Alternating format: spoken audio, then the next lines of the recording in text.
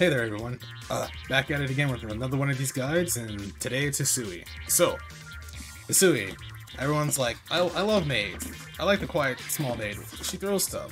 She puts pencils on the ground. How do I play her? Well, here's, here's what the guide's for. Alright, 5A. She slaps you. It's a high. Not a high, excuse me. You know, it's 5A that hits there, she slaps. Okay, she slapped. Alright, 5B. It actually goes a little bit further than you think. As you see, like, it's pretty deceptive. It actually moves her forward a little bit as she does the move. So it's pretty good for, like, uh, continued block strings. Like that. Then you have 5C. The funny chair. It hits twice if you don't charge. So, 1, 2, 3. It beats low shield. So, you know how they go into the failed state immediately. so you can do... And it crushes that. However, you have charge 5C. Hits It's three times, but it goes really far if you charge it. How far? I'm gonna backdash, and it still barely hits her.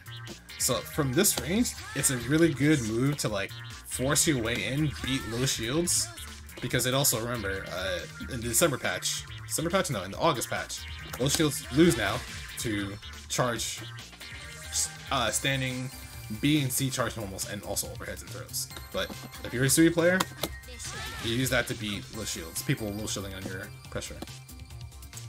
Then you have you have 4C. You have sorry, you have 4B. Watering can.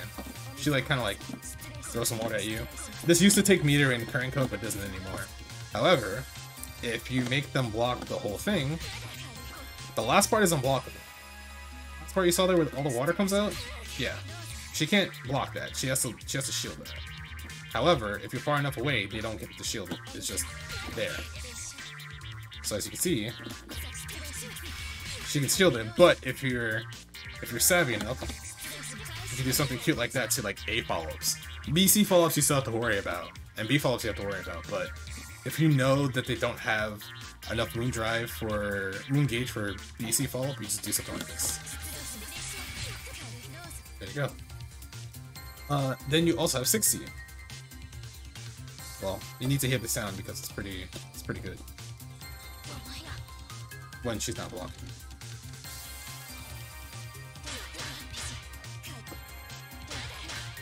You can mash, it hits three times if you mash, so you, you press C, C, C, you get the rest of it.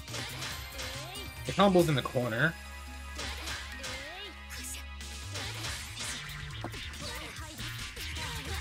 See there, so it's a good way to like end your strings if you're if you run out of normal use. This is the most important thing about this character. That noise alone. They actually buffed it to make it so it makes that sound uh, ago. So say thank you to Kamone, everybody. Say thank you, Kamone. Alright. Other normals. 2A. 2A hits low. 2B. Hits further than 2A. She actually lunges a little, bit further than you would think. So it's another one of those forward-moving normals that puts her puts her forward, but she retracts herself afterwards. And then you have 2C. Sweep. Fast sweep hits pretty far. Uses it to confirm stuff afterwards. Um, hmm. I don't think I'm missing anything else in the crouching normals. Oh, 3C. 3C is really strong in which, you know, it's an anti-air tool. It goes pretty high, and 3C goes pretty far in front of her. So you can get a launcher, you get your air punish, air combo off of that. Special moves. 56, ladles. 56A, pokes you with her ladle real quick. 56B, same thing. 56C, gives you a launcher at the end. However, the A and the B versions also give you a launcher, but you have to press a button again after. So you do 56A, any button, you get a launcher. So you can do a small combo like... If you're fast enough, I guess. Like that. Same thing with 236B. You'll get a combo afterwards. Only if you press the button again. So 236B, B. 236A, A. 236C, I'm pressing nothing, and she just launches automatically. Then you have 623A, B, and C. 623A is dust. 623B is up dust. You can actually have two dust on the screen at the same time. I think if we try to do three, one of them disappears after a little bit. So 236A, 623A. Hits once, otherwise, it just floats there as like a, think of it like a mini Aegis reflector, kinda, a little bit. And that also protects your head up there too. So they try to air dash at you while you do it, they get hit, you get a small combo. And then 63C is EX dust that you see a lot, that people use for like block strings. So a lot of people will do something. Well, when they have meter, they'll do it.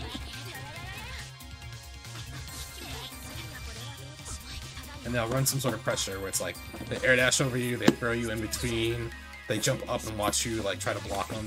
So, oh, I think if I can get this timing correct. Ah, there is a way to do it to make them make it so like they get holds. Yeah, like they get pushed back to you at the last second, and you're like you do air dash jump A or just throw them right after.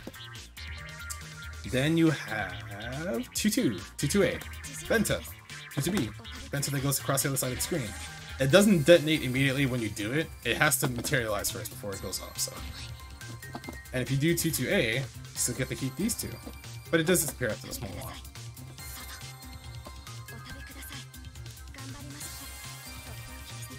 However, you can have quite a number of Bentos on the screen, which is pretty funny. And then 2-2C is Big K. Ume.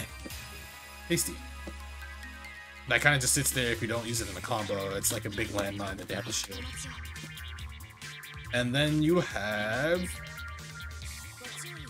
Pottery.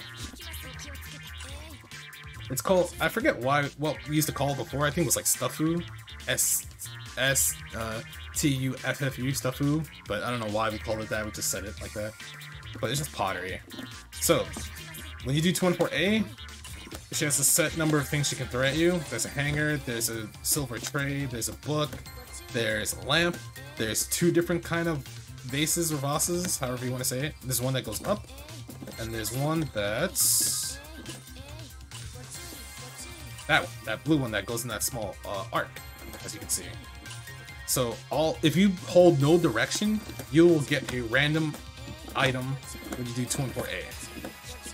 However, you can hold the direction while you do the move in order to get a specific item most of the time. So if you hold forward when you do 24A, you do 24A forward, you will always get Book. And Book is really good for that space that people want to run at you. If they try to uh, ground dash at you, you can do 24A, hold 6, so forward, and you'll always throw a Book. I think the same with 24B? Yeah, 214B will always give you a book, but 214B always gives you a different item as well. 214B will always give you two items. See? Two items. Two items. Two items. But if you hold forward 214B, you always get book and silver tray. So you can see how that's good. It covers two different options on the ground. Whereas 214A forward, hold 6, always gives you just book.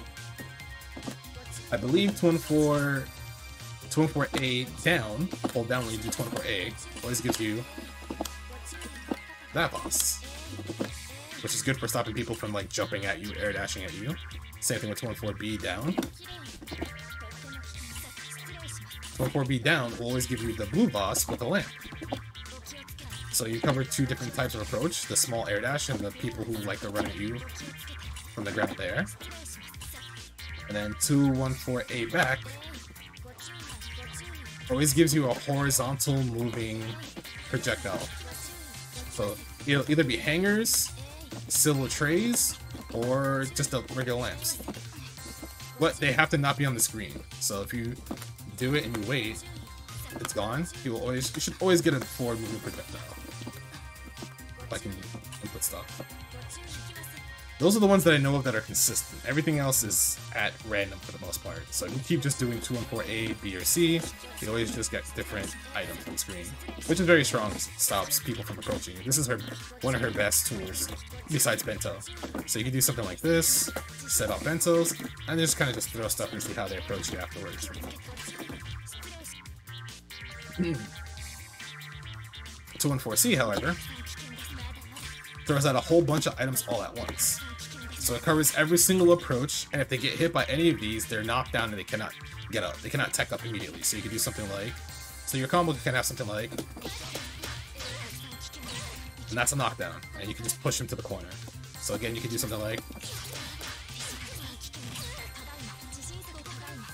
like that.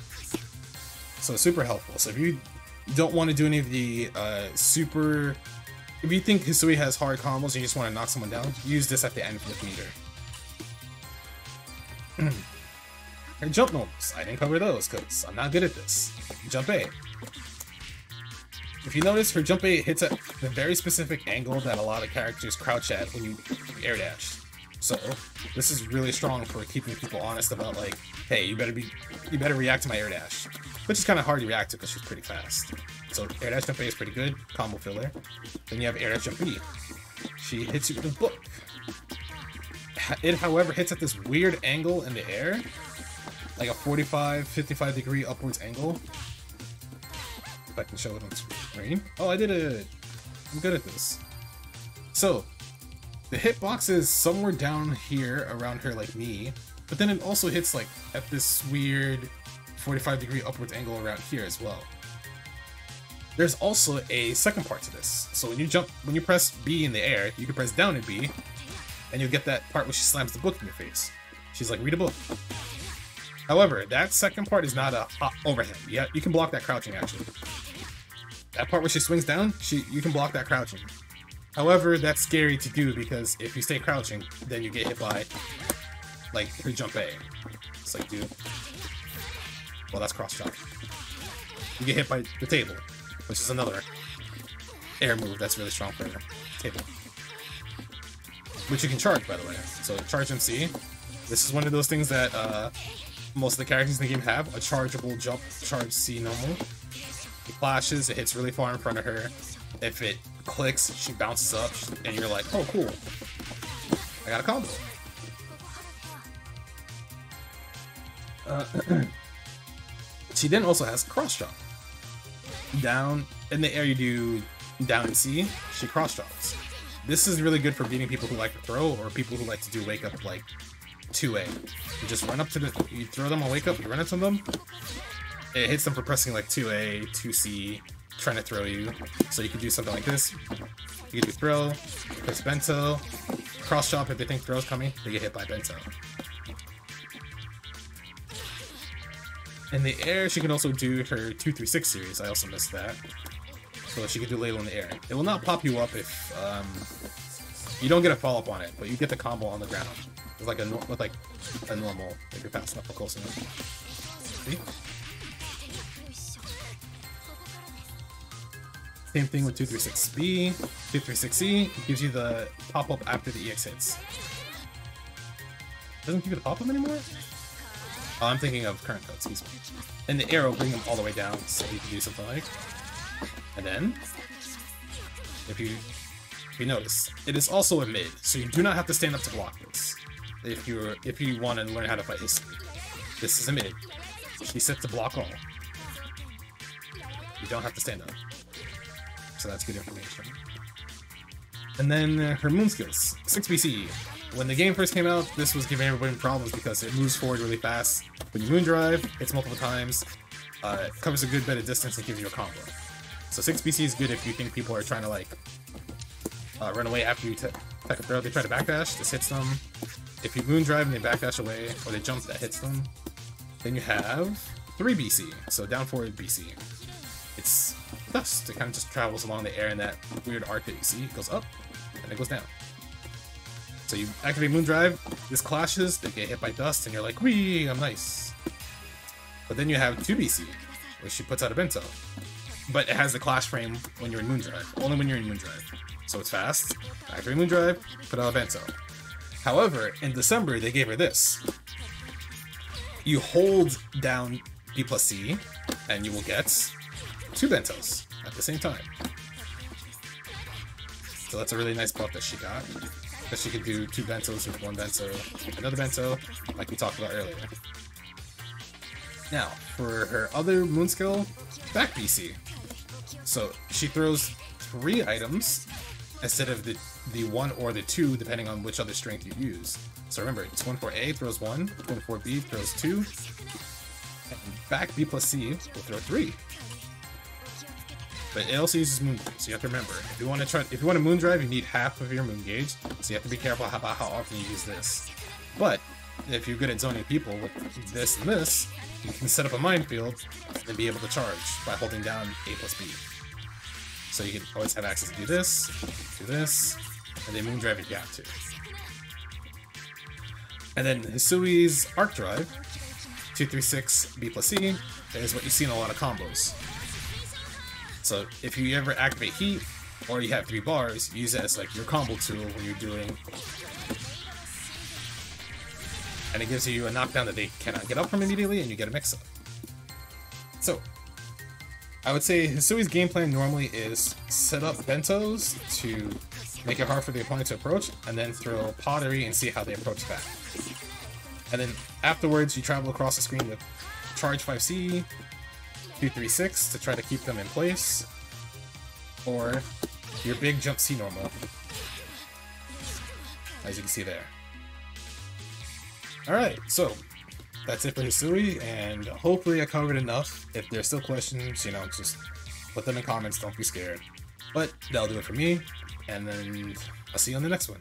Take care.